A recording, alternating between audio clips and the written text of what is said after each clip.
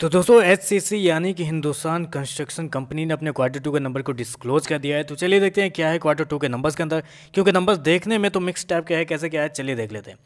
तो ये data base के लिए करोड़ में दिया हुआ है। पिछले क्वार्टर में क्या होता? है पिछले क्वार्टर में कंपनी ने 2228 करोड़ का रिवेन्यू जनरेट किया था। पिछले साल 2775 करोड़ का किया था। जबकि इस क्वार्टर में देखा जाए तो अप्रोक्सीमेटली 2500 करोड़ के आसपास कंपनी का रिवेन्यू है। तो क्वार्टर क्वार्टर बोल सकते हैं कि क्वार्टर क्वार्टर कंपनी के रिवेन्यू के अंदर ऑलमोस्ट बारह के आसपास की तेज़ी आपको देखने को मिलेगी लेकिन साल दस साल जाते हैं तो वहाँ पर हल्की सी गिरावट आपको देखने को मिली अप्रोक्सीमेटली छः के आसपास की गिरावट है साल दस साल कंपनी के रिवेन्यू के अंदर। चलिए देख लेते हैं कंपनी का एक्सपेंस क्या है। क्योंकि पिछले क्वार्टर में कंपनी का एक्सपेंस अगर देखा जाए तो चौबीस करोड़ था। पिछले साल सत्ताईस करोड़ था, जबकि इस क्वार्टर में चौबीस करोड़ के आसपास कंपनी का एक्सपेंस है।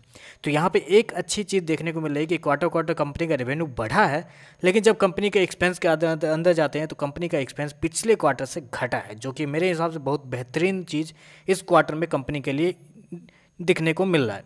तो चलिए कंपनी का प्रॉफिट देख लेते हैं, क्या प्रॉफिट कंपनी ने बनाया है। तो देखिए, पिछले क्वार्टर में कंपनी क्या थी? पिछले क्वार्टर में कंपनी लॉस में थी 280 करोड़ का लॉस था।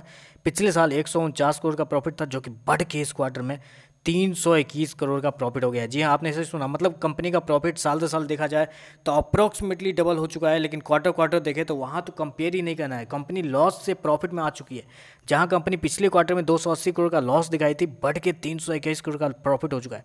ई e की बात करें तो ई e में भी बहुत भारी बढ़ोतरी देखने को मिली है, जहाँ कंपनी पिछले साल ज़ीरो पॉइंट नाइन टू के आसपास का ई e था, बढ़ के दो रुपये ग्यारह पैसे के आसपास आ गया। जबकि पिछले क्वार्टर में देखा जाए तो पिछले क्वार्टर में तो company E P S minus में थी, एक रुपये पचासी पैसे के आसपास। तो ओवरऑल करने का ये मतलब कि नंबर्स मेरे हिसाब से तो बहुत बेहतरीन है। क्यों? क्योंकि कंपनी ने रिवेन्यू ज़्यादा जनरेट किया है। बस थोड़ा सा प्रॉब्लम हो गई। एक साल से साल कंपनी के रिवेन्यू के अंदर। अगर साल से साल भी कंपनी अगर रिवेन्यू अपना स्ट्रॉन्ग कर लेती तो शायद इस नंबर के बाद एक बहुत बड़ी तेज़ी आपको देखने को मिल सकती थी।